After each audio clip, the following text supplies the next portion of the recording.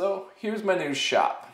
It's about 23 and a half feet wide by 39 feet long, which is awesome. Look at it, it's open, it's beautiful. The only problem is, when you walk upstairs, it feels a bit like you're walking on a trampoline because those joists are 24 feet long.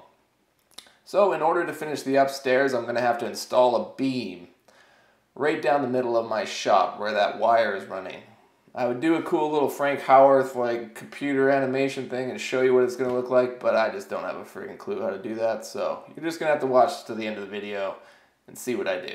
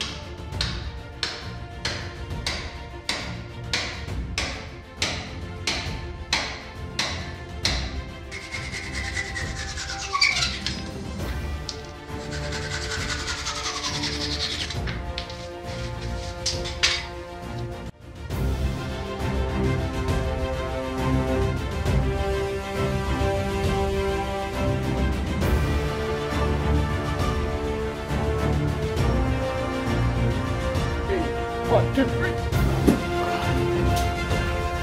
Okay. Good block. One, two, three, go. On,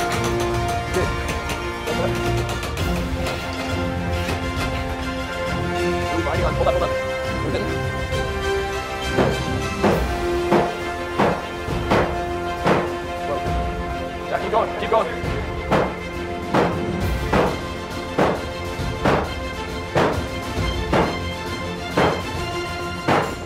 There.